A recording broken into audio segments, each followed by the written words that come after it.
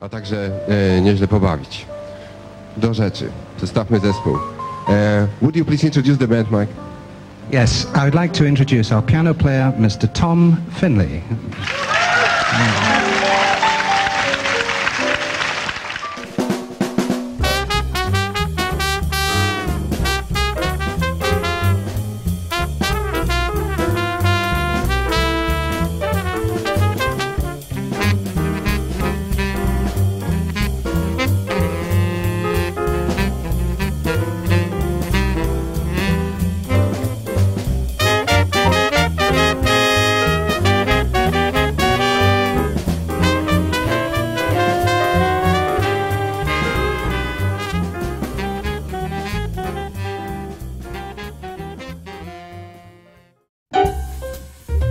Tom Finlay's the name, music and making jazz is my game.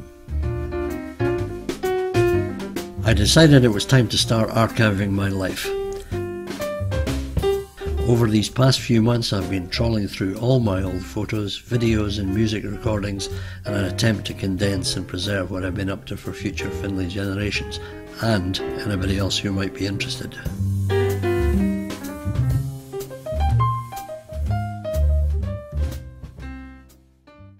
Is performed by Fat Sam's band with a great piano solo by Tom Finlay. What's the great The Adam Dancer in the aisle. Can you see that?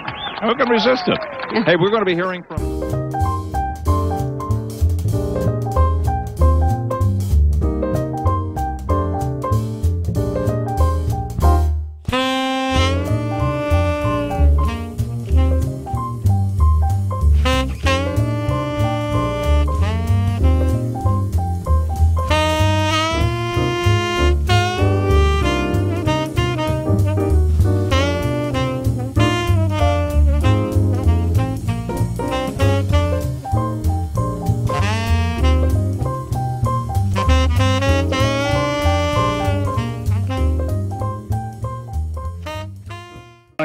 Our wonderful keyboard man, ladies and gentlemen, on a Yeah, I suppose it all started when I was at school in in my late teens. Uh, the music section in the Beath High School, the music teacher, her main song was uh, Camptown Ladies Sing This Song Do Da Do Da Day, which I wasn't much interested in. So I thought I was going to be something a bit hipper than that. So there came a school camp, and I went there and met various guys from other schools, and I, I had a little trio there. and got up, played it the last night. All the, the young girls said, "Oh, I wish we had a band like you at our school." So I thought I like this. I met a guy who was uh, Jimmy Shand's nephew, who played the trumpet. His name was Colin Terrace, and a trombone player from Buckhaven called Jimmy Harry. He played a silent type trombone, but very good. And so I got together with them and kept in touch. I actually started promoting some jazz in Kelty, Kelty Town Hall, or Kel- Kelty Village Hall. I don't know exactly what it was called. I uh, put posters up and we drove up to uh, do the show. And I remember there was about 20 people came the first week. A couple of clippies with their bags of change. They came in and danced around a bit, but I lost money. And uh, I think I kept it going for about a month. And then in the meantime, my old man was, he had a band uh, way back he liked to listen to Sid Phillips' uh, band on the radio, so that was good. And I found the American Forces Network uh, broadcasting from Germany, which had a jazz program. I think it was about 11 o'clock at night for an hour. So I had great stuff, so I was getting all that influence going on there. When I was 19, I moved to Edinburgh um, to a bed and breakfast in London Road and got into the scene there. Went to the jazz clubs and met these guys that I had seen at the summer camp. But eventually, they, they faded away and I got into the local scene. And the guys knew that I could play a little bit, so they I got booked and you got started doing gigs. Yeah, there was always a base of, of jazz players who did more commercial gigs, so you got together to play in jazz clubs and started playing in the Royal Mile Cafe, which is now doesn't exist, but was right off opposite St Giles, and we couldn't start playing until the congregation came out. That's because the Devil's music was heard across the road. Might just turn some of them back.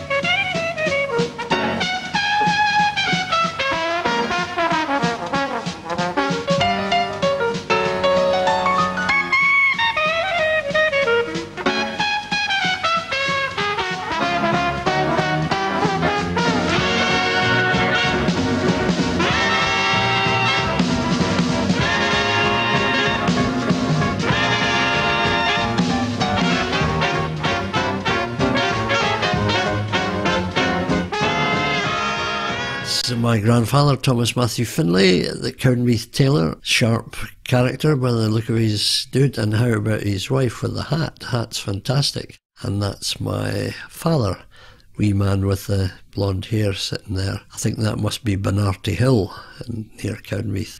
This photo is obviously the Finlay family on a fine Sunday morning. By the look of them, they all look quite wealthy. And uh, my grandfather is in his army rig. He was sent to Ireland in about 1916, which was a lucky posting, I think, rather than going to the Somme or something like that. And then there's my dad, who's down there with wee bow tie and the kilt, all looking good and very smart. Then my uh, grandfather's brother, who'd be my uncle, he was a minister.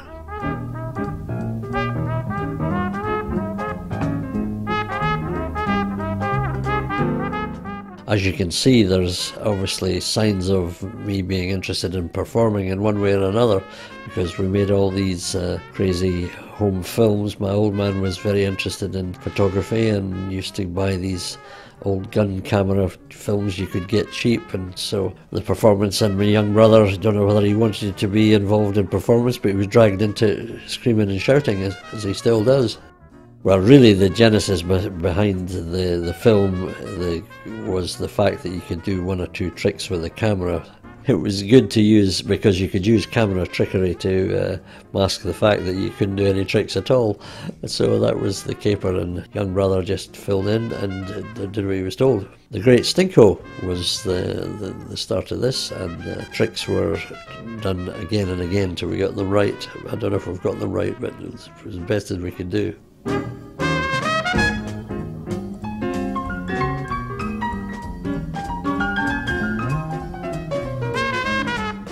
In the 1950s, we went crazy and started producing all these films, these epics, Cowboy One and the, the Magician One. But uh, when you look at them now, they're lump in your throat.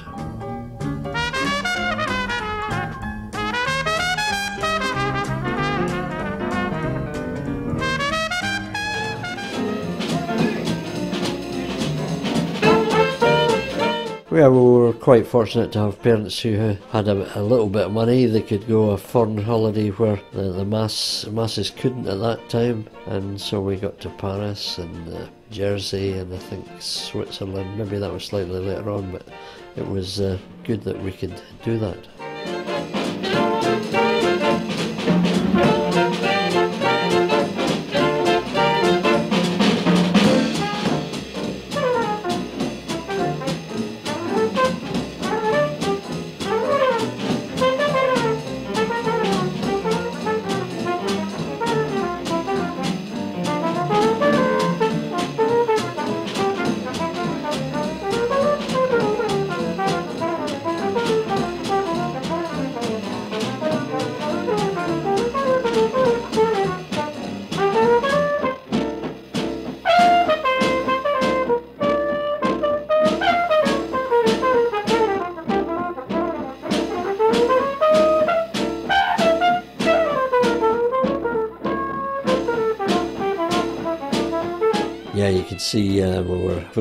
Excited to go on this trip when this is in Kinross. We were waiting for the the bus to arrive to take us on a, a coach holiday, and as, as you can see from the uh, what follows, it was third to arrive, which is, we were up and down three times.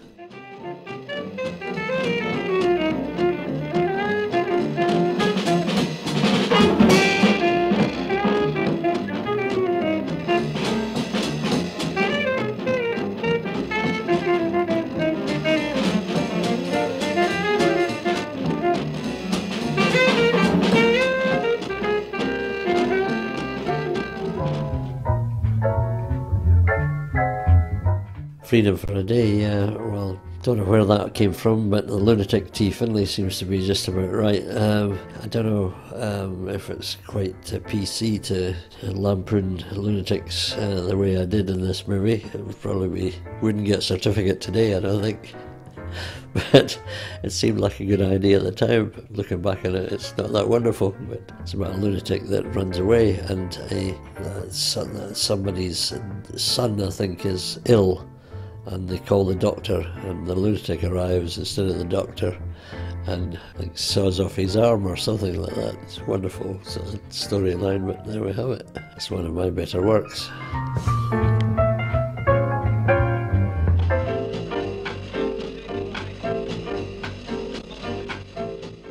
gig book was building up, and that led on to tours abroad and uh, working on the ships. So that's how it all started. And as well as playing music, I saw a bit of the world, which was good fun.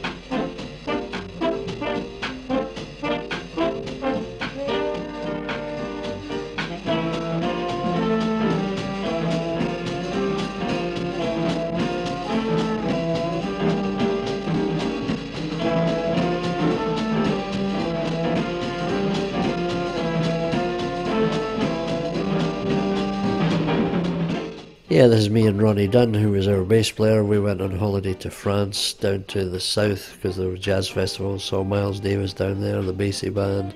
So that was great fun.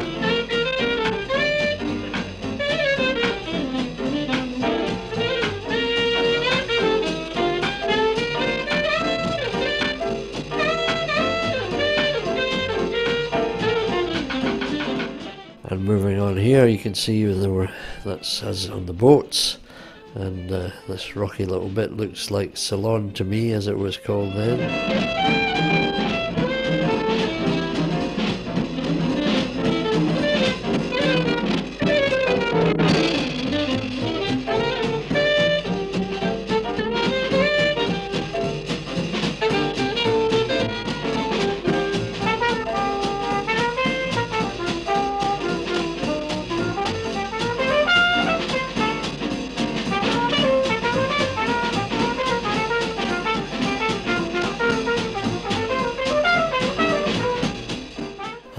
This little sequence here is us doing the crossing the line ceremony, where a piece of nonsense takes place when you cross the equator. You go through all this nonsense. As you can see, I get some cymbal work because keys couldn't come out and do this.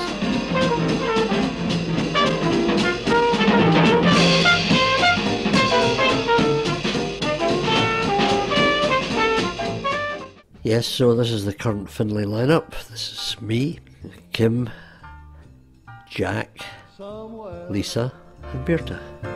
beyond the sea, somewhere waiting for me. The lover stands on golden sands and watches the ships that go sailing somewhere beyond the sea. She's there watching me. If I could fly like birds on high, I'll then straight to her arms I'll go sailing. It's far beyond the stars,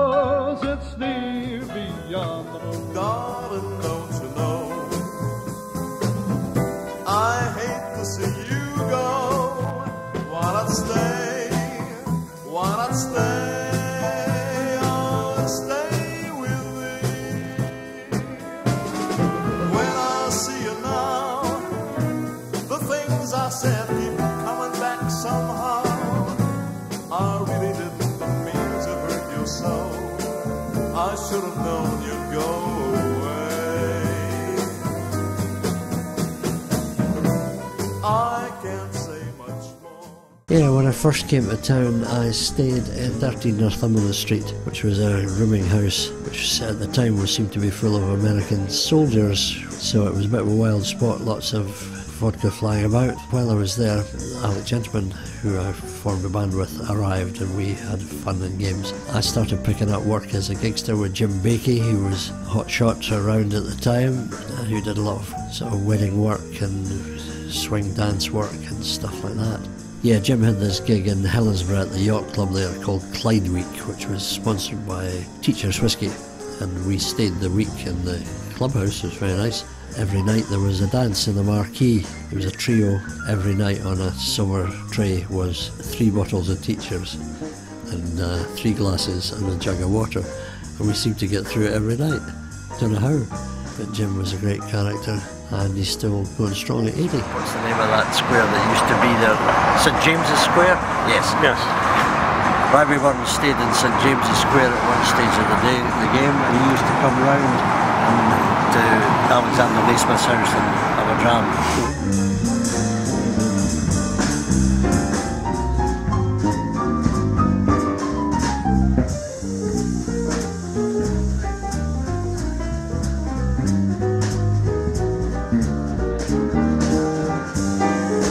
It was the birthplace of James Nasmyth, born 1808 to 1890. He invented the steam hammer, and then I think it was probably his son was Alexander Nasmyth, 1758 to 1840, the famous artist. So I ex- expect it would be James Nasmyth that Burns used to come round to, to leather to. And they'll have another plaque up there then one day. Thomas Fin- Finlay. Thomas Finlay was here. Right, fingers. Fingers. I think not.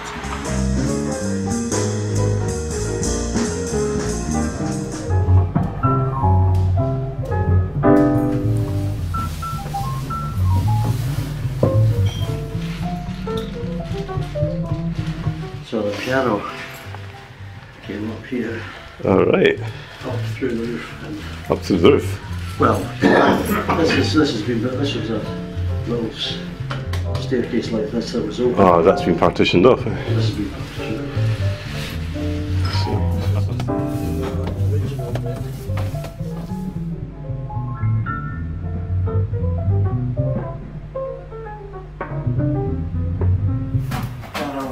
Hoisted up Oh, I see. Right, from the bottom, right up there, swung over here. right. Where was it placed here? No, no, this is the main room through here. So this is where Nasmyth had the light, you know, for the. It would be set up here, yeah. I would think so. I would think so. I think so. The safe, you see where you Oh, wow. Amazing how resourceful uh, Who got into the safe? No, did we not get to see if It was locked. We, we never knew what was in it for long enough, and then we eventually managed to get it open. There was much in it. This here, this dreadful scenario there, used to be St James Square. And that's where Burns would have lived. during This, this bit is like a time warp. It does seem so much smaller, doesn't it? underfloor lights were de rigueur in 1963. See, I was working on an audit down somewhere in Newcastle and they sold this parquet flooring, so I bought a pile of this, all came back, did that down, and then through here, you've got my bedroom, which of course, I was frozen to death in here. Take a look at this glass. All right. The temperature was dreadful. He's got the fancy one next door. you know, I'm lucky to be alive. I said to you, which room do you want? I don't remember that. I think it was more, I'll have this one. Nice in the summer, though. It was, well, you couldn't breathe in the sun. It's not wind. Amazing. So it was alright for the sun. I mean, you could go up on the roof. There's a flat roof, there's a flat roof on top of this. Yeah. No, it- there was uh, this was uh, supposed to be a statutory, but it was never that warm. It was a magnificent view. It's Stunning, it's great. They didn't before they put all this uh, ventilation systems, uh, air conditioning over the, But the there roof. was some talk that down, isn't there? Spots, there was, you know, it. I don't know, it So your piano was on that stage then? Or? There used to be a platform which rolled underneath there, which was where the drums got filled out for parties to fix. Oh, see, right, right, right. used to go there, got some good photos. 63 we bought this for the princely sum of a thousand pounds. A lot of property for that, isn't it? I was working in the Pentland, no, it was the Baron Street, I think, and they had this mind reading act called the Great Zareda. So he was very keen to have a seance somewhere, place that was amenable to seances, so decided to have it here, so we're sitting round about there. maybe about eight of us from the Pentland, you know, a few witnesses and a few, and then he's he's on about. I feel so, some a spirit, something's coming through. Wait a minute, somebody said, "Does anybody know Aunt Mabel?" No. Okay. Well, could you move there? And you move there. And then he's pulled some other kind of tune. This, I hear somebody calling from the f- far away. Is there a Johnny mean anything to you? No. Well, maybe we moved round. We found out later he's touching people up. You know, he's at it. So he was more of a mind reader. He was. Mm. So He's a leg bender. yeah, all ended up in chaos. We just met all sorts of crazy characters being in the show business. We had, we had our own band. We've got a lot of photographs of that opening party. Right. I used to have an audio tape of the, which I can't now find, of the singing and the music from that evening.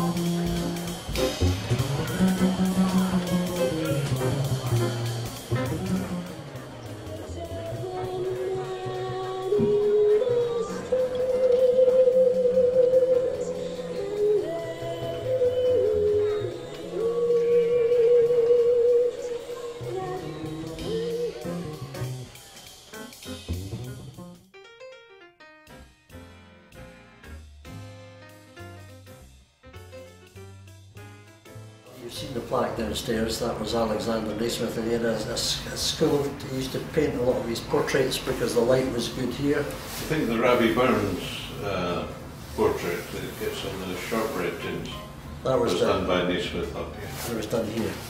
Apparently he ran a, a s- an, an art school. That's right. The description he had young artists, well that's what they did in these days. But Burns used to stay, stay around there in St James's Square, which was there, and we used to walk around here.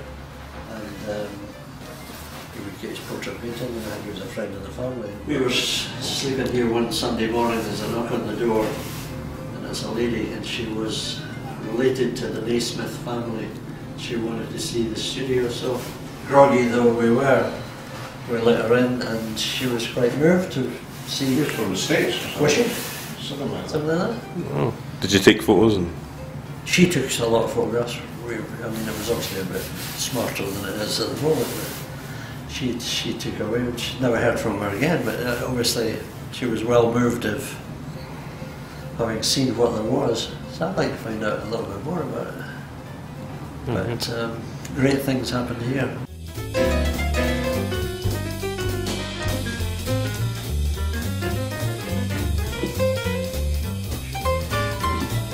It was probably the roof.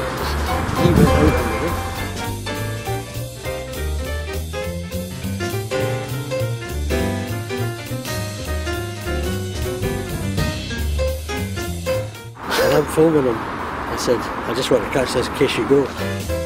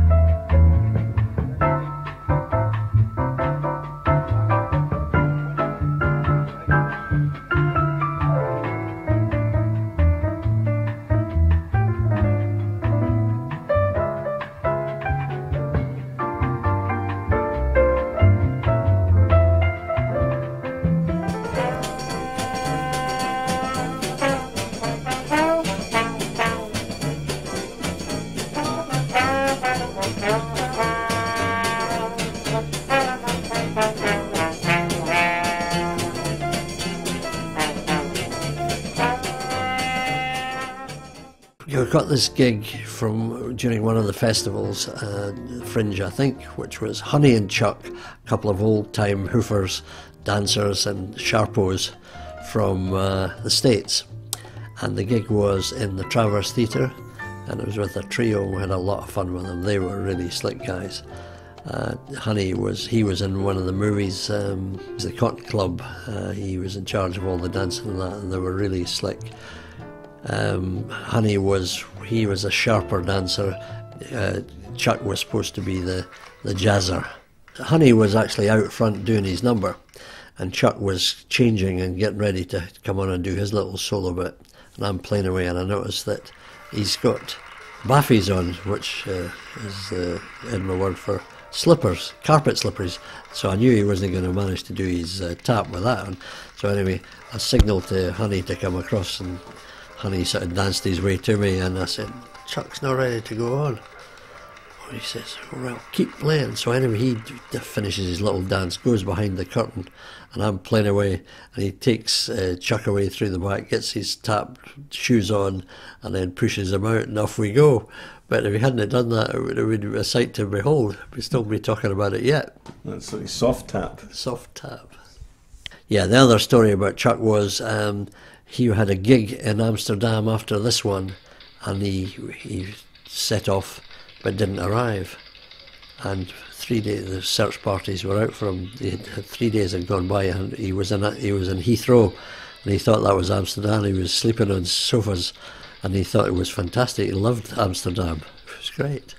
Chuck, though he, he was he was a fantastic dancer. I think he was away with the fairies because they both signed a, a, little bit of message to me on the the poster, and Chuck's one to me read, "Often folds entity from a Goodyear makeup, labeler tap dance, breaded son of overtone. Are you singer?" Chuck Green.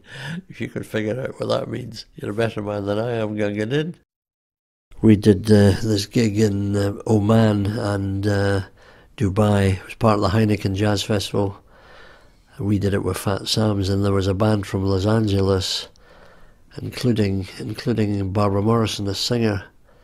And we thought she was fantastic. She gave me her number.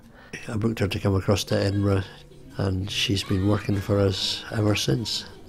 She's had a few health problems of late, but she still soldiers on and does a great show whenever she performs. Well, Henry's Cellar Bar was the first uh, jazz festival date we did.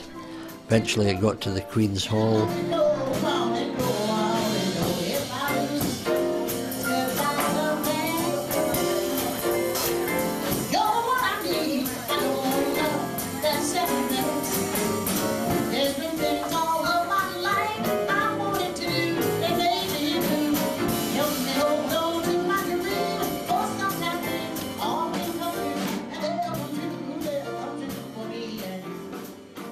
Actually working at the moment. This is you working? This is us working because we've got to get this on. Otherwise, I got my one and only over here, Tom. Oh, yeah? otherwise uh, there won't be much of a show. You see? Is she still on your mind? I've only got the only day off. I've got this. They, the Rio de Janeiro blues. Spilt wine on my shirt. Nice. Oh, Nice, eh? right. And, I- and during that last gig, I was getting very hot, and I could smell this sort of stale, sweaty wine smell. Do you know that smell, Barbara? Hopefully not. That's what I Have was you smelling. lost your mind? I have, yeah. I really, I think I have actually. Street related. This year I'm freezing my boots off.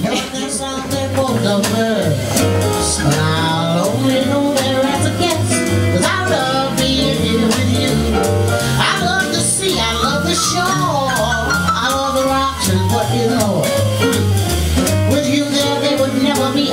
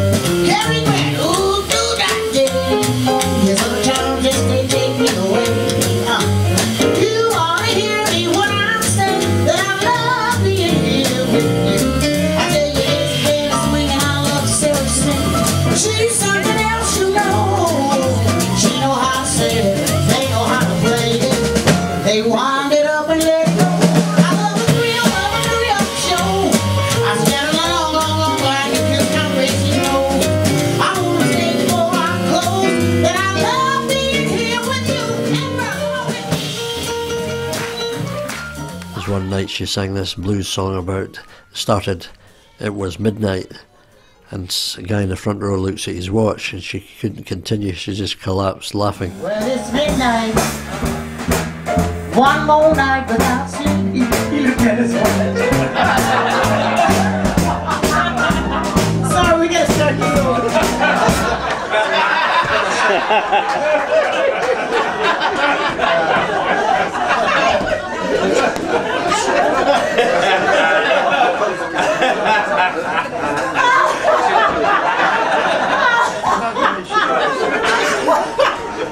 You. Good night, folks.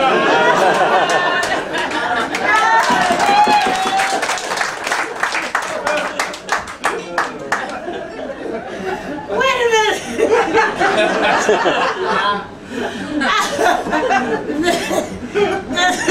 That's just. That's just. It's just in the song.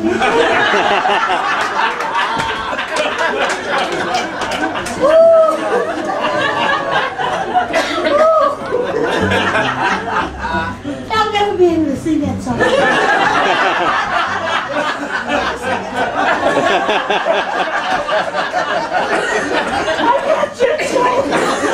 Maybe I should come and sing.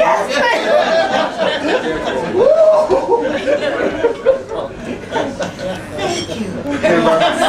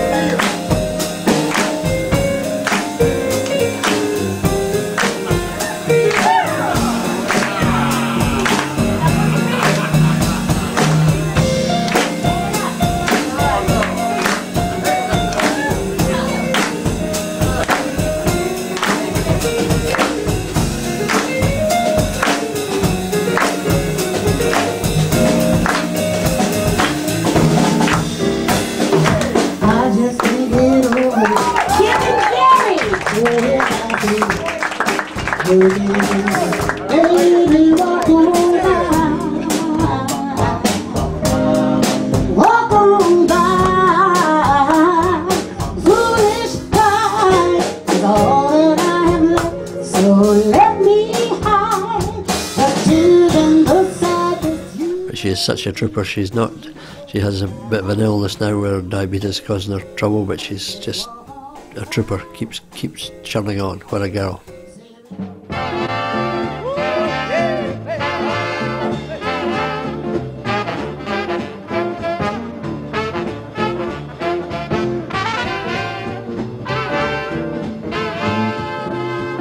Well, I'm heading for a station with a bag in my back. I'm trying transportation in the bag of a hat. I love to hear the rhythm of the clickety clack. See the smoke rising when it's blowing the jack. I pal around my Democratic felony Mac. So take me right back to the track. Jack! Well, Hamish, I think, had a fancy for. Maybe he saw somebody in the States that he wanted to copy or something like that. But he said he wanted a new jump jive band, and uh, I remember in his house we had auditions, and the great and the good came and went, and he finally found the guys he wanted, notified them, and off we went, doing the music of Louis Jordan and Louis Prima and anybody else who we felt should be honoured in such a way. You need the compensation to go back in the back. You take the morning papers from the top of the rack. You read the situation from the front to the back. But the only job that's open needs a man with a. So you put it right back on the rack. Jack! Choo choo! What is it? Hamish had an old wagon, I think it was a post office wagon, which um, posted a few parcels in its time, and I think it was a little bit tired, but he got it at the right money, and uh, we headed back and forth on various occasions, and there's a bit of footage that you might see where some of the trials and tribulations of the road are there to be seen. Well, but we better not say say the word in case we show the video to certain people. That's it. Oh, Okay, boys, right, it's bum inspection time. so just drop your trousers, we'll just see how... the surgeons come to do the job. Right. have you nothing? Have you nothing smaller? oh yes, I am, sir. There's something smaller here. This is a family show. now, what do you think's wrong, Tommy?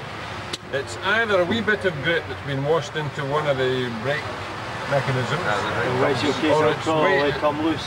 eventually. it's wear on the transmission that you only hear on the overlap. One of these. Or it could be Shall just. We, we'll say five to one in favour of the break because there's So so, that- that's easy. Because there's so much water about. You know. Yeah. Or we'll just say it's. Um, I'll just give you evens on. Yeah, there is a school of thought which says that you don't know what you're talking about.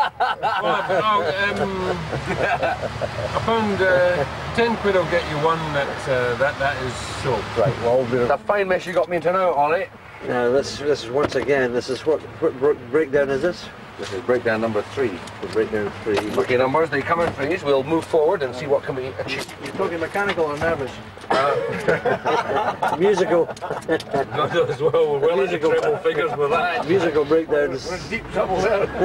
now listen to the clunk, clunk, clunk. Just wait, wait, wait, wait. Very slowly, right? Right, very slowly forward. This is what I like to see steel grafting. See less of steel grafting and more of Finlay this is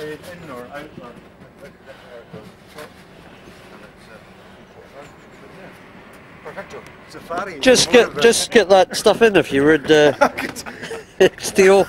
You're not here for the bass playing. You're here for the for, for the loading. this is liable to be the last run for this old baby. You reckon? Oh, I know you. You know. Here's Mr. Extra. Here's the old, hiding round the corner till all the gear was the old knack. the old knacker arrives. Band. I remember Ignatz. Ignatz, yeah? Yeah. And they went up to play in uh, Skye. Uh-huh. This was like in, what, 19... We were 1970, whatever. Two or three. Aye. And uh, they were playing in a in a place called uh, Edinbane. Uh-huh. Aye. Edinbane Hall they were playing. And he says they arrived and they had one of these big, big um, uh, Luton vans.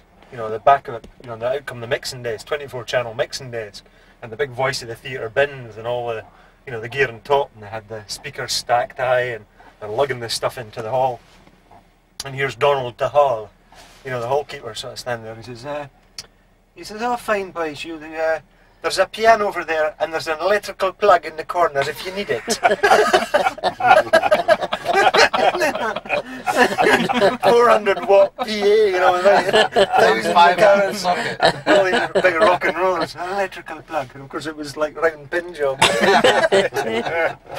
Love it. This is very fragile.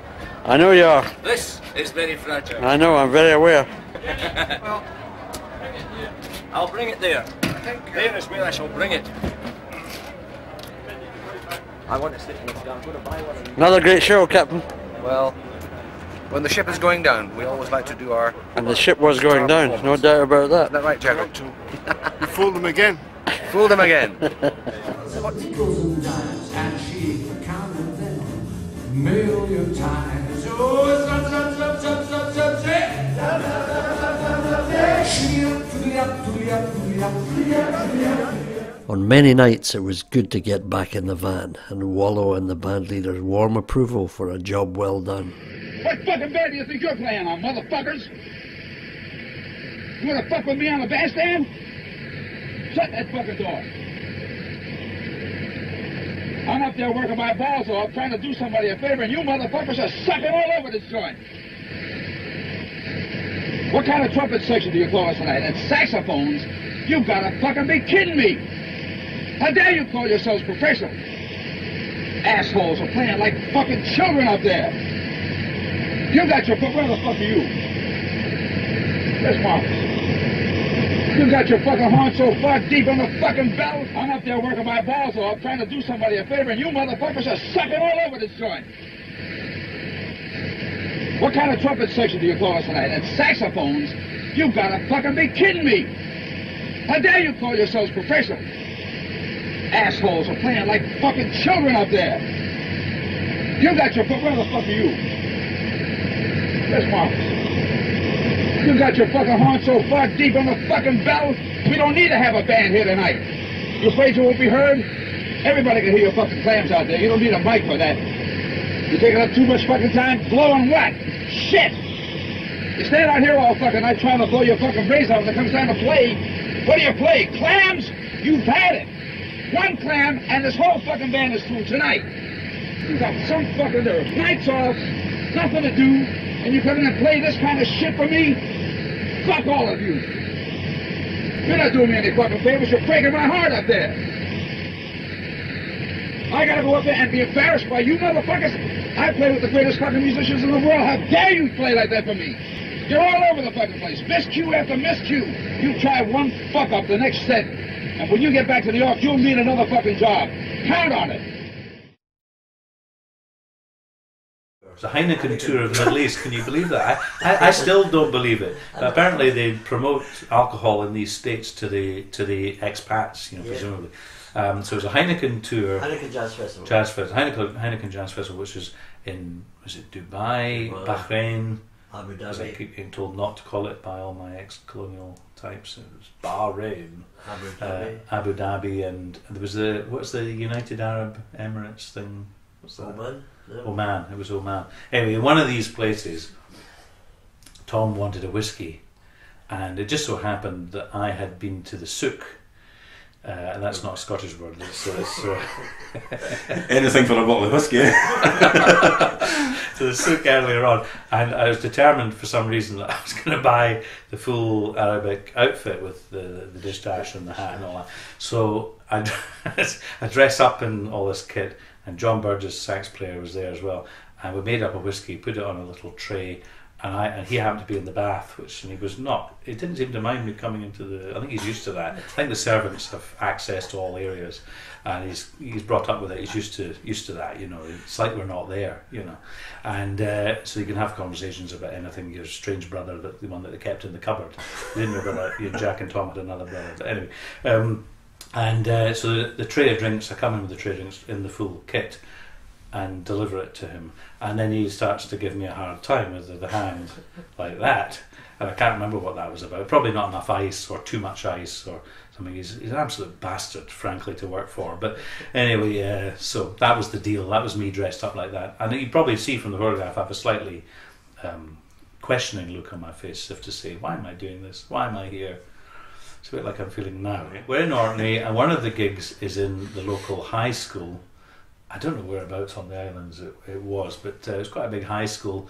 There's a little bit of footage of us preparing for that gig, but unfortunately, there's no footage of the gig. However, on the gig, Mike Hart, the band leader, decides, against all advice, to. He's notorious for his um, halting delivery of uh, rather poor, old fashioned jokes. And he's made a specialism out of it. and in itself, it's funny. Uh, and uh, one of his favourite jokes is uh, um, I was going to tell some knicker jokes today, but the management wouldn't wear them. I see, which is a, and it was an old joke about 100 years ago, and it seems even older now. However, in the high school on the islands, where there'd recently been a big sort of scandal with this was witchcraft and accusations of child abuse and things. Um, terrible story. Uh, it was probably not advised that he should tell any kind of jokes that were slightly, you know, off colour, especially not in the school and not in that school and not on those islands and not in 1993. So it was very, very recent history. Uh, and he he changed the joke slightly to fit the occasion, and he said. Uh, the headmaster, oh sorry, uh, yes, uh, I was going to tell some knicker jokes today, but the headmaster wouldn't wear them. At which point there's absolute silence because the audience, who are mostly kids anyway, didn't get it. B, it's not very funny. C, given the scene scenario that we found ourselves in politically at that point, probably not a good idea. And the only sound after a few seconds was the sound of a seat banging up, you know, as somebody gets up to leave, and then the sort of footsteps of somebody and the door slamming, uh, and we were left in silence. And Mike said, "Right, well, the next number is putting on the Ritz, whatever it was," and off we went, and that was it. But it uh, created a bit of an atmosphere, and I blame Tom for that. I've absolutely no idea how the Orkney gig came about, but uh, it was a Mike Hart production, and uh, off we went in my lovely wagon. I was told that it was almost certainly in Gregory's Girl when it was brand new, because that's where they filmed Gregory's Girl, wasn't it? Cumbernauld High School. Oh, oh, that's what. Ah, that's the only problem. Then. Only problem. It's not the only problem with this thing.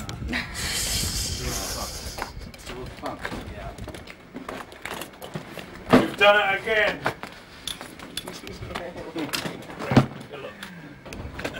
Is that in purple? I don't know. Just now. Is it? Yay! Is that not to be used anymore then, that door? No, it's not. It's got to be very gentle. Have to come through the and over the top. Very gentle with.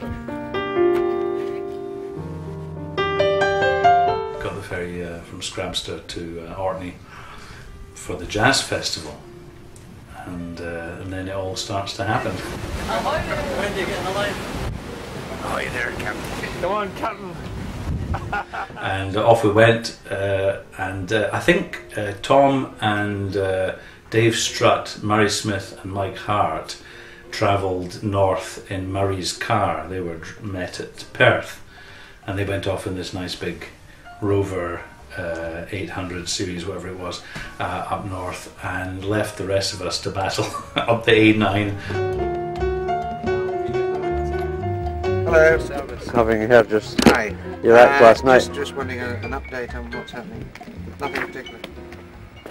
Take it off. Well, I'm going to get raise it up and see if it's rocking about on its on its bearings at all.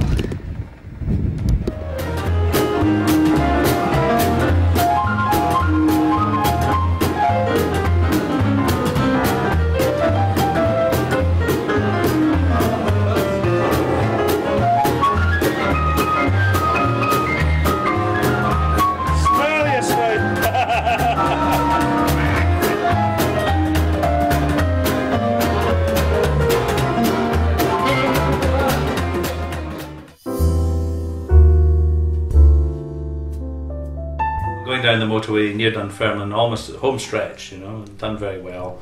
And uh, and it didn't go cluck cluck cluck. It just cut out completely, like somebody had switched the engine off using the switch. All the lights on in the dashboard, silence.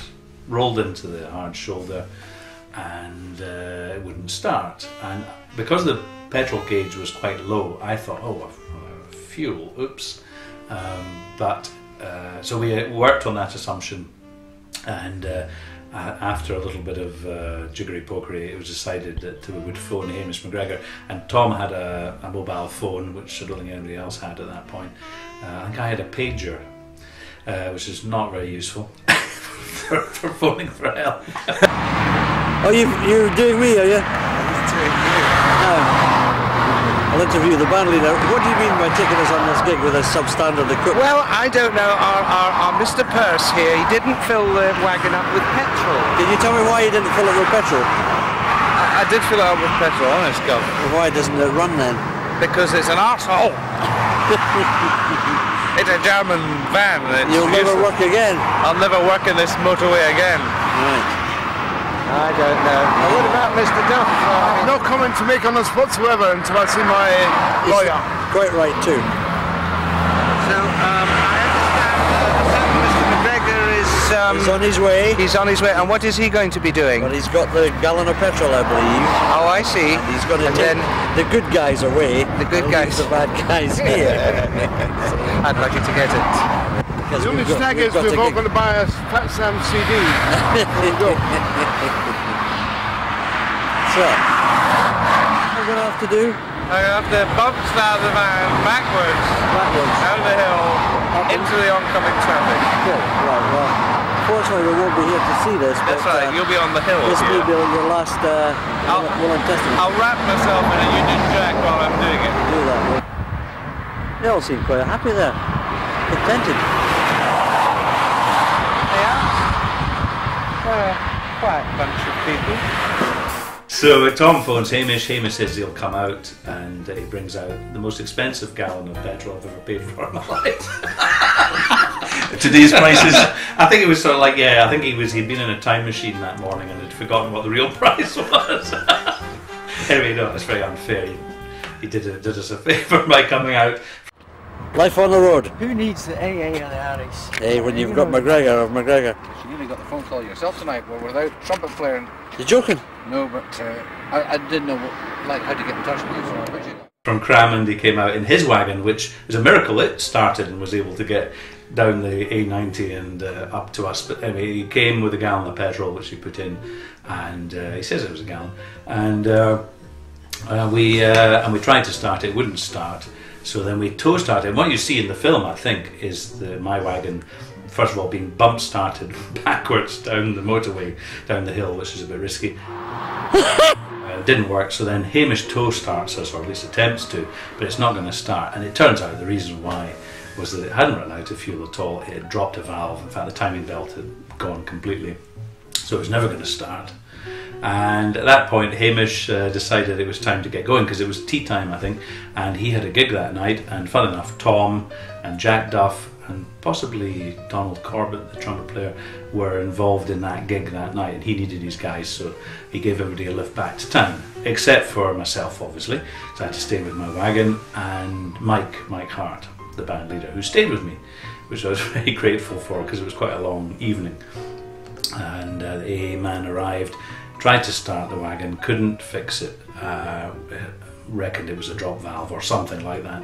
Uh, and then we had to wait again for another few hours because because it was such a heavy vehicle, it had to be put on a low loader, and there wasn't one available just yet. So I think I think we dropped off Mike at his flat in the new town at about eleven o'clock at night, something like that. It was getting dark anyway. And uh, and then I can't remember what happened after that. I was just relieved to get home. Is that the van dead after that? then? Was it Uh, I. I, I fixed it and I think I ran it for another couple of months and then uh, I can't remember. Somebody bought it. Hamish. It, what, well, actually, yeah, it should have been because as it turned out, his wagon was a lot more unreliable than, it, than the Volkswagen was. But uh, yeah, yeah, he should have bought it, really, shouldn't he? So we're on the road with the Society Syncopators. Uh, we've been to Sacramento Jazz Festival, uh, which was founded by Bill Borcher, trumpet player and basketball coach. So as part of the gig, he takes. We're doing a tour of Oregon. The unfortunate thing about that is that he was got us up at the crack of dawn and into the coach and thrashing and the whole thing. I can't remember the exact village or town, but anyway, we all get sorted out and uh, set up. We started playing. One of the expats gets hold of the trumpet player and the trombone player, and he, in the trunk of his car, he's got a large bottle of scotch, which gets downed at the interval, and uh, with some uh, dire results. And uh, the tunes, the Black Bear, which got played, it's a classic version, I think. I don't think you'll hear it on a syncopator CD, but it's worth hearing anyway. We'd like to take you back to Scotland now, all the way from the States, to a great old pipe tune. I hope uh, some of you recognise it. I'm sure some of the Scottish people here will. It's called The Black Bear.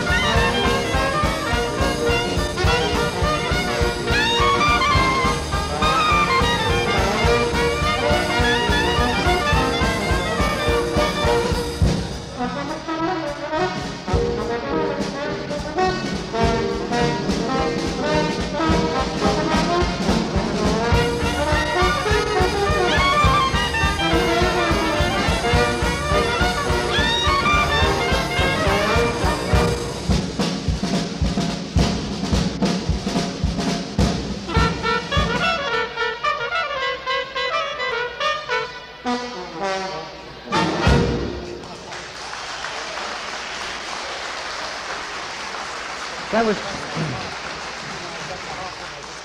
that was called the Drunken Black Bear.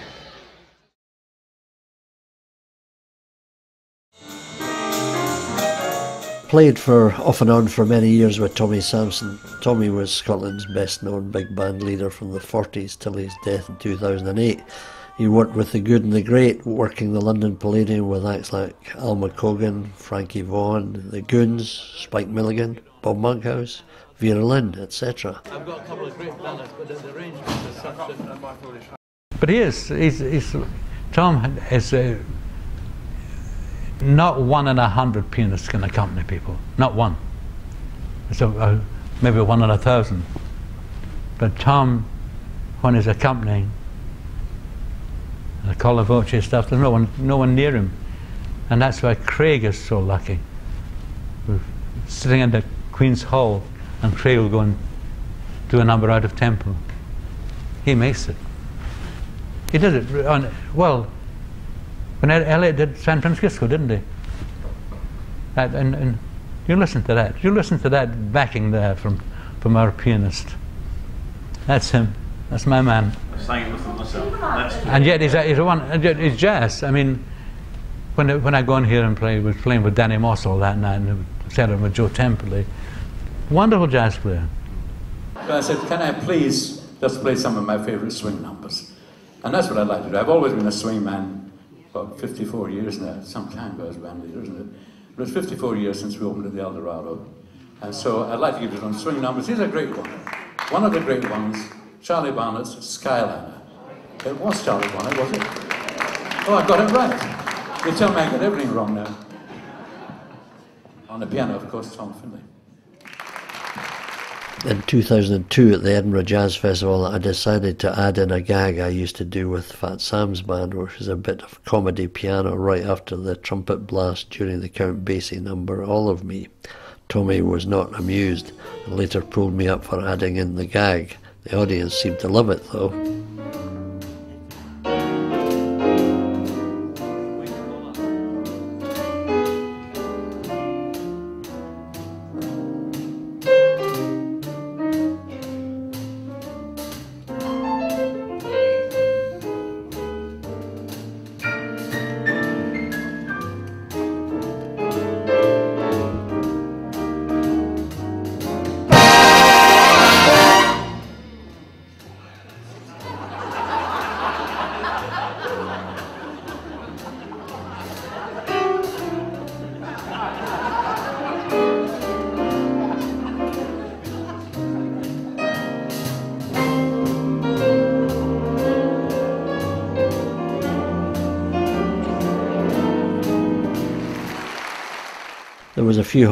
Players in the Sampson band over the years. I was fortunate to play in the 2002 gig with Eric Delaney, who was a hard act to follow.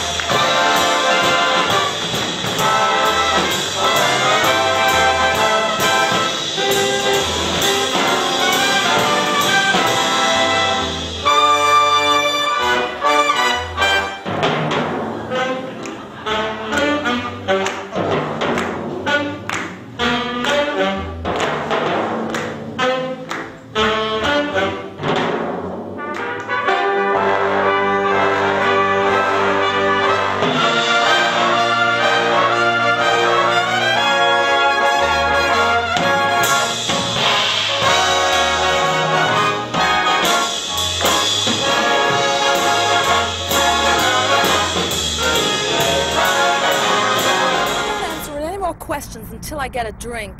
I got a call from a lovely girl I used to work with, Laura Ellis. She had uh, been booked for a commercial by the Royal Bank of Scotland, which was to do with cutting down queues.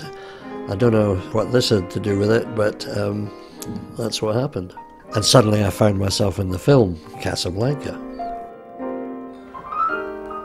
You got a light? Every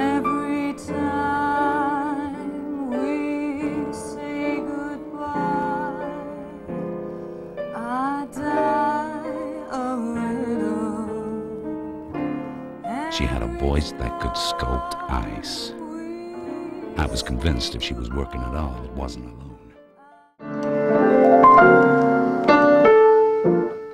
Well, that was a nice roller coaster ride. I hope you've enjoyed it and uh, the fun and games and music along the way.